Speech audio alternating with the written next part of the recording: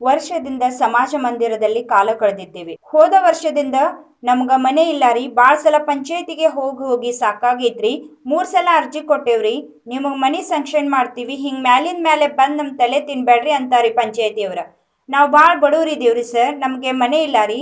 ಒಂದು ವರ್ಷ ಆಯ್ತ್ರಿ ಈ ಸಮಾಜ ಮಂದಿರದಾಗಿದ್ದೇವ್ರಿ ನಮ್ಮ ಮನೆ ಪೂರಾ ಬಿದ್ದೈತ್ರಿ ಕಡ್ಸಾಕ್ ನಮ್ ಕಡೆ ರೊಕ್ಕ ಇಲ್ಲ ರೀ. ನಮ್ಗೆ ಯಾವ್ದರ ದಾರಿ ತೋರಿಸ್ರಿ. ಹೀಗಂತ ಬೆಳಗಾವಿ ಜಿಲ್ಲೆ ಹುಕ್ಕೇರಿ ತಾಲೂಕಿನ ಯರಗಟ್ಟಿ ಗ್ರಾಮದಲ್ಲಿ ಕಣ್ಣೀರಿಡುತ್ತಿರುವ ಬಡ ಕುಟುಂಬದ ಕತೆ ಇದು. ಏನಿವರ ಕತೆ ಅಂತೀರಾ? ಈ ಸ್ಟೋರಿ ನೋಡಿ. ಉತ್ತರ ಕರ್ನಾಟಕದಲ್ಲಿ ಪ್ರವಾಹ ಬಂದು ಜನರ ಜೀವನದ ಮೇಲೆ ಪರಿಣಾಮ ಬೀರಿ ಇದ್ದದ್ದನ್ನೆಲ್ಲ ತನ್ನ ತೆಕ್ಕೆಯಲ್ಲಿ ಎಳೆದುಕೊಂಡು ಹೋಗಿದೆ. ಆಸರಿಗಿದ್ದ ಮನೆಗಳನ್ನು ನೆಲಸಮ ಮಾಡಿದೆ. ಅಷ್ಟೋ ಇಷ್ಟೋ ಕೂಡಿಟ್ಟ ದವಸ ಧಾನ್ಯ ಪ್ರವಾಹದ ರಭಸಕ್ಕೆ ಕೊಚ್ಚಿ ಹೋಗಿವೆ. ಬಡವರಂತೂ ಪಡಬಾರದ ಕಷ್ಟಪಟ್ಟಿದ್ದಾರೆ. ಸರ್ಕಾರ ಮನೆಗಳನ್ನು ಕಳೆದುಕೊಂಡವರಿಗೆ ಸೂರು ಕಟ್ಟಿಕೊಳ್ಳಲು ಹಣ ಮಂಜೂರು ಮಾಡಿದೆ. ಆದರೆ ದೇವರು ಕೊಟ್ಟರೆ ಪೂಜೇರಿ ಕೊಡಲಿಲ್ಲ ಎಂಬಂತೆ ಗ್ರಾಮ ಪಂಚಾಯಿತಿ ಅಧಿಕಾರಿಗಳು ಸತಾಯಿಸುತ್ತಿದ್ದಾರೆ ಎಂದು ಇಲ್ಲಿಯ ಗ್ರಾಮಸ್ಥರು ಆರೋಪಿಸುತ್ತಿದ್ದಾರೆ. ಕಳೆದ ವರ್ಷ ಮಳೆಯ ರಭಸಕ್ಕೆ ಕೊಚ್ಚಿ ಹೋದ ಸುರೇಶ್ ಕಡೆಮನಿ ಎಂಬುವರ ಮನೆಯ ಗೋಡೆ ಬಿದ್ದು ವರ್ಷವೇ ಕಳೆದಿದೆ. ಇದುವರೆಗೆ ಸರ್ಕಾರದ ಸಹಾಯ ಹಸ್ತ ಇವರಿಗೆ ದೊರೆತಿಲ್ಲ. ಮನೆಯ ಛಾವಣಿ ಸಂಪೂರ್ಣ ನೆಲ ಕಚ್ಚಿರುವುದರಿಂದ ಈ ಮನೆ ಅಪಾಯದ ಅಂಚಿನಲ್ಲಿದೆ. ಹೀಗಾಗಿ ಈ ಕುಟುಂಬ ಗ್ರಾಮದ ಪರಿಶಿಷ್ಟ ಜಾತಿಗೆ ಸೇರಿದ ಅಂಬೇಡ್ಕರ್ ಭವನದಲ್ಲಿ ಜೀವನ ಸಾಗಿಸುತ್ತಿದ್ದಾರೆ. ಕಳೆದ ವರ್ಷದಿಂದ ಗ್ರಾಮ ಪಂಚಾಯಿತಿಗೆ ಅಲಿದಾಡಿ ಸಾಕಾಗಿದೆ. ಯಾವ ಅಧಿಕಾರಿಯೂ ನಮ್ಮನ್ನು ಗುರುತಿಸುತ್ತಿಲ್ಲ. ಕೇವಲ ನಾಲ್ಕೈದು ಗೋಡೆಗಳ ಕಲ್ಲು ಬಿದ್ದವರಿಗೆ ಪಂಚಾಯಿತಿಯವರು ಹಣ ಮಂಜೂರು ಮಾಡಿದೆ. ಅವರೆಲ್ಲ ಹೊಸ ಮನೆಗಳನ್ನೇ ಕಟ್ಟಿಕೊಂಡಿದ್ದಾರೆ. ನಾನು ಎಷ್ಟು ಬೇಡಿದರೂ ನನ್ನನ್ನು ಕಡೆಗಣಿಸುತ್ತಿದ್ದಾರೆ. ದಯವಿಟ್ಟು ನನಗೆ ಸೂರು ಕಲ್ಪಿಸಿ ಕೊಡಿ ಎಂದು ಸುರೇಶ್ ಕಡೆಮನೆ ಅಂಗಲಾಚುತ್ತಿದ್ದಾರೆ. ರಾಜ್ಯದಲ್ಲಿನ ಮಳೆ ಹಾಗೂ ಪ್ರವಾಹ ಬಾಧಿತ ಪ್ರದೇಶಗಳ ವಸ್ತುಸ್ಥಿತಿ ಅಧ್ಯಯನಕ್ಕಾಗಿ ಕೇಂದ್ರ ಕೃಷಿ ಸಚಿವಾಲಯದ ನಿರ್ದೇಶಕ ಡಾಕ್ಟರ್ ಮನೋಹರನ್ ಹಾಗೂ ಜಲಶಕ್ತಿ ಸಚಿವಾಲಯದ ಎಸ್ಸಿ ಗುರುಪ್ರಸಾದ್ ನೇತೃತ್ವದ ತಂಡ ಹೋದ ವರ್ಷದಂತೆ ಈ ವರ್ಷವೂ ಹುಕ್ಕೇರಿ ತಾಲೂಕಿನ ಬಡಕುಂದ್ರಿ, ಎರ್ನಾಳ್, ಹೊಸೂರ್ ಇಂಗಳಿ ಗ್ರಾಮಗಳಿಗೆ ಭೇಟಿ ನೀಡಿ ಪ್ರವಾಹದಿಂದ ಹಾನಿಗೊಳಗಾದ ಸ್ಥಳಗಳನ್ನು ವೀಕ್ಷಿಸಿ ಸಂತ್ರಸ್ತರೊಂದಿಗೆ ಸಮಾಲೋಚನೆ ನಡೆಸಿದೆ.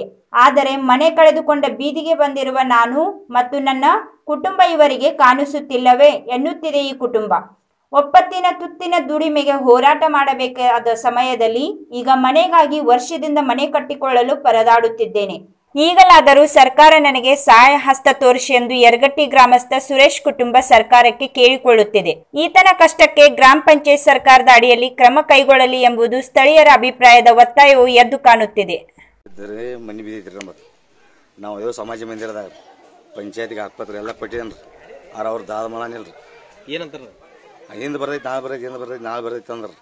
ಇನ್ನೂರಿಗೆ ಒಂದು ವರ್ಷ ಜಪ್ಪನ್ ಬಂದ್ರಿ ಇಲ್ಲಿ ಈಗ ಮಾತು ಮನೆ ಕೊಟ್ಟಿದ್ದೇನೆ ರೀ ಕಾಕತ್ರ ಈಗ ಏನು ಮಾಡ್ದೈತಿ ನೋಡ್ಬೇಕು ರೀ ಮನೆ ಪಕ್ಕೊಂಡು ಹೋಗಿದಾರೆ ಕೊಟ್ಟು ರೀ ನೀನು ಕೊಟ್ಟಿದ್ದು ನೀನು ಮಾಡ್ತಾಯಿದ್ದೆ ಆಮೇಲೆ ರೀ ನೀವು ವರ್ಷ ಆತು ನಾವು ಅಲ್ಲಿದ್ದೀವಿ ರೀ ಎಲ್ಲಿದ್ರಿ ಸಮಾಜ ಆಗಿದ್ದೀವಿ ರೀ ಸಮಾಜ ಸಮಾಜ ಮಂದಿರ ಅದ್ರಾಗ ಇವ್ರು ವರ್ಷ ಆತು. ಯಾವುದೇ ಕಾರ್ಯ ಅಂದ್ರೆ ಅವ್ರು ಇರ್ತಾರೆ ರೀ ಅವ್ರದ್ದೆಲ್ಲ ಕಾರ್ಯ ಮುಗಿದ್ಬೇಕು ಮತ್ತು ಅವರೆಲ್ಲ ಹೋಗ್ಬೇಕು ನಾವು ಮತ್ತೆ ಇರಾಕ ಹೋಗಿ ಅಲ್ಲಿ ಇರ್ತೀವಿ ರೀ ಹಿಂಗಾಗಿ ಹಿಂಗೆ ಹೊರಗಡೆ ಇಡೋರು ಯಾಕೆ ಮನೆ ಇಲ್ರಿ ಏನಿಲ್ಲ. ಪಂಚಾಯತ್ ಯಾರು ಯಾರು ದಾದ ಮಾಡಾನಿಲ್ರಿ ಈಗ ನಿಮ್ದು ಅಷ್ಟ ಮನೆ ಆಗಿಲ್ವೋ? ಇದು ಮತ್ತೆ ನಮ್ದು ಇದು ಒಂದೇ ಇದು ಒಂದೇ ಆಗ್ಯದ ಉಳ್ಕಿದ್ದು ಆಗ ಆಗ್ಯದವ್ರು ಏ ಹೆಂಗೆ ಯಾವಾಗ ಇದು? ಯಾವ ಅದು ಬೇರೆ ಪಟ್ ಕ- ಕ- ಎಲ್ಲ ಪಟ್ಟ ಕಾಡ್ಬೇಕು ಅವರು ಅವ್ರು ಅದು ರೀ ನನ್ನ ನಾನು ಕೋಳಿ ಕೇಳಕತ್ತ ನಾ ಕೊಟ್ಟಿದ್ದೀವಿ ಕಾಕತ್ತ ನಾವೇ ಮೇ ಮಣ್ಣು ಹಾಕತ್ರಿ ಅವ್ರು ನಾವು ಕೇಳಿ ಕೇಳಿ ಬೇಸತ್ತ ನಮ್ ಕೈಯಾಗ ಐತನ ಅನ್ನತಾರ ಅವ್ರು. ಹೋಗಿ ಹೊಳಿ ಹ್ಮ್, ನಾವೇನ್ ಮಾಡೋಣ ಎಲ್ಲಾ ಕೊಟ್ಟಿದೇವ್ರಿ ನಮ್ ಕೈಯಾಗ ಐತನ? ಅಂತ ಅವ್ರ ಅನ್ನತಾರ ಕೇಳನಾರ ಹಿಂದ್ ಬರ್ತೈತಿ ನಾಳೆ ಬರ್ತೈತಿ ಅನ್ನತಾರ ಈಗ ಮೂರ್ ಮೂರ್ ಸಲ ಕೊಟ್ಟಿದೇವ್ರಿ ನಾನು ಬರಾನಿಲ್ರಿ ಅದು. ಮತ್ ಹಿಂಗ ಹೂ ಹೂ ಅನ್ನತಾರ ಎಂದ ಬರೋದ್ರಿ ಹಿಂಗ ಹೇಳ್ಕೊತ ಹೋದ್ರ ನಾವ್ ಎಲ್ಲಿ ಎರಡ್ ದಿವಸ ನಿಲ್ಲೋದ್ರಿ. ಈಗ ಬಿದ್ದ ಮನೆಗಳಿಗೆ ಎಲ್ಲ ಸಾಕ್ಷಿ ಹ್ಞೂ ಸಾಕ್ಷಿ ಹಾ ರೀ. ಬಿದ್ದ ಮನಿ ಬಂದಾರ ನಮ್ದು ಒಂದ್ ಹಿಂಗ್ ಬಂದೈತಿ ನೋಡ್ರಿ. ಅಟ ನಾಕ್ ನಾಕ್ ಕಲ್ಲ ಬಿದ್ದು ಅವ್ರೆಲ್ಲ ರೊಕ್ಕಗಳು ಬಂದ ಕಟ್ಕೊಂಡ್ ಎಲ್ಲ ಮುಗಿದೂರ ಅವ್ರು. ಈಗ ತಾಡೆ ತಾಡೆ ಕಲ್ಲ ಬಿದ್ದವ್ರಿ ಅವ್ರು ರೊಕ್ಕ ಬಂದವ್ರಿ. ಈಗ ನಮ್ಗ ಹೆಸ್ ಗಾಡಿ ಬಿದ್ದುದ್ರ ನಮ್ಗ್ ರೊಕ್ಕ ಬರಾನಿಲ್ರಿ. ಮತ್ ನಮಗ್ ದಾದು ಮಾಡಾನಿಲ್ರಿ ಬಡವ್ರ ಇದ್ದಾರ ನಾವ್ರಿ. ಹಿಂದ ದುಡ್ದು ಹಿಂದ ತಿನ್ನಾರ, ಹೆಂಗ್ ಕಟ್ಟಂದ್ರ ಏನ್ ಕಟ್ಟೋದ್ರಿ ಎತ್ತರ್ಲೇ ರೀ ಹ್ಮ್ ಹ್ಮ್ ಹ್ಮ್ ಮತ್ ಯಾರು ಸರ್ಕಾರನು ಏನ್ ಕ- ಇದಾನ ಮಾಡಾನಿಲ್ಲ, ಏನಿಲ್ರಿ, ಹೆಂಗ್ ಏನ್ ಮಾಡೋದು ಹೇಳ್ರಲ್ಲ ನಾವ್. ಮಕ್ಳ ಮರಿ ತಗೊಂಡ್ ಯಾವ ಈ ಮನ್ಯಾಗ ಹೆಂಗ್ ಇರೋದ್ರಿ. ಅದನ್ನ ಇದನ್ನ ನೋಡ್ರಿ, ಹೆಂಗ್ ಏನ್ ಮಾಡೋದತ್ತಿ ಮಾತ್ರ ನಮ್ಗೆ.